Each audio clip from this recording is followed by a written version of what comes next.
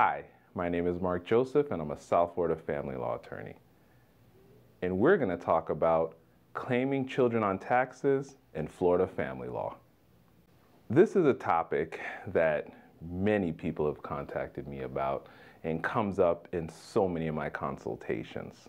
The issue of claiming children in Florida family law cases at this point really go hand in hand. Between the CARES Act, all the stimulus money that's come out in the past few years, a lot of issues come up where one parent, because they're claiming the child or children, have received a lot of these benefits, and the other parent either wants their part or want it fairly considered in their family law case. So we're going to talk about the nuances and the issues that can come up in Florida family law cases when it comes to claiming children and some of the things you can do to navigate. But before we move ahead, please like, subscribe, and hit the notification bell so you can be updated when we post new videos. And let's get started.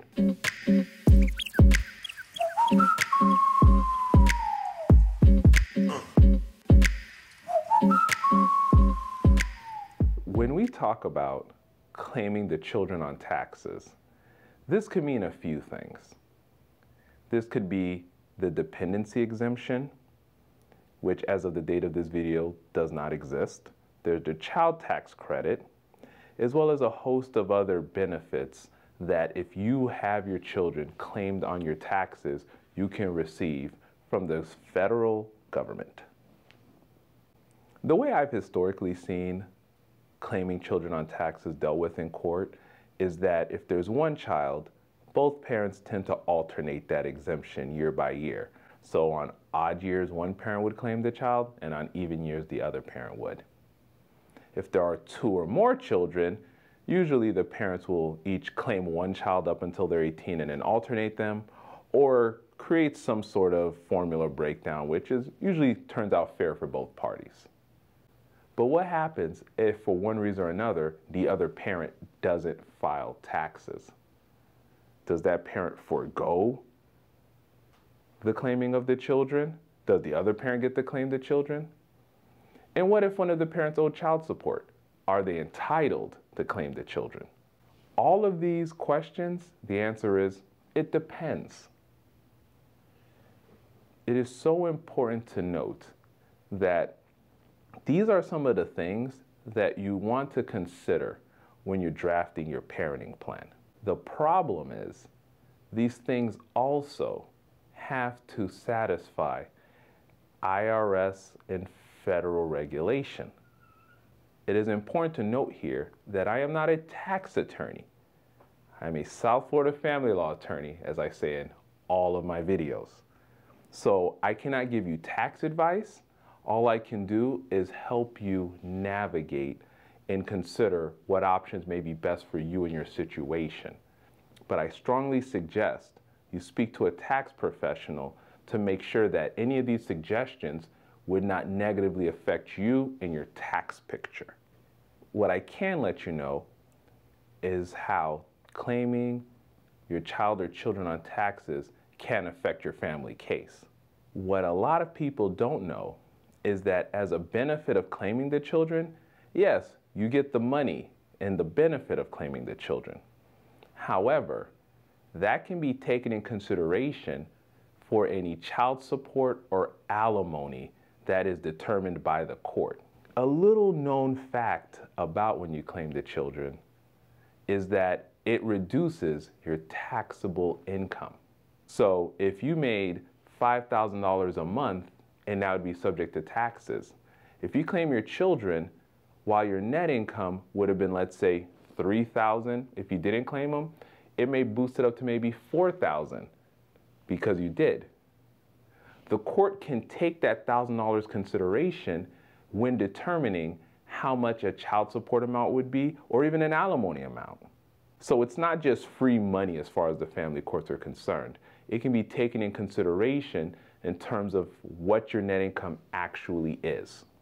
Another thing worth noted is that let's say you do have a parenting plan and it does have a term that each parent will claim the child, but on different years. there's actually a form you can have each parent fill out, which is Form 8332, which you can find on the IRS website, which you can specify on what years each person will be claiming the child or children.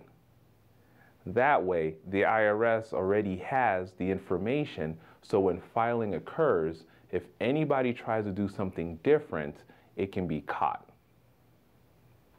Now, I will again suggest you speak to a tax professional to make sure that such a form is right for your case or situation. You also should keep in mind that if a parent chooses to claim the child or children on taxes on a year they're not supposed to, that this is something that can be subject to an enforcement or contempt proceeding if it's in your parenting plan or final judgment that one parent would be claiming the child or children and the other parent went ahead and did. Something you can consider that I've done on a lot of my cases is if you have a parent who is subject to a child support payment and they are not current on their child support payment, you can actually have the ability to claim the child or children be conditioned upon them being current on child support. While this is completely separate and apart from any IRS or federal regulation, what I've seen is that it maintains a little bit of honesty and consistency when you have a parent who's subject to child support and whether or not they continue to pay it. But I've had on countless occasions gotten it enforced that if a parent is not current on their child support obligation, that they lose that exemption for that year. And having a solid provision that basically says the same can basically make it an enforceable provision. That being said, that gets a little bit more complicated. I would say that if that's something you do want in your parenting plan or in your final judgment, to get an attorney to help you draft that provision or request that specific relief through the court to make sure something like that can be built in so that you can basically make sure that everybody's being honest. You're going to claim the child on the taxes, that's fine. You're going to make sure you're doing your time sharing and paying your child support obligation, if any, and you can get that benefit. So, all things considered, claiming the children on your taxes is a part of the family law litigation, but whether it should be a big part of your litigation is something you should first speak to your family lawyer about as well as your tax professionals so you can really understand the tax consequences of such a decision. So if you or someone you know needs a family law attorney to help them not only navigate the claiming of the children, but any aspect of their family law case, please feel free to give us a call and schedule a consultation.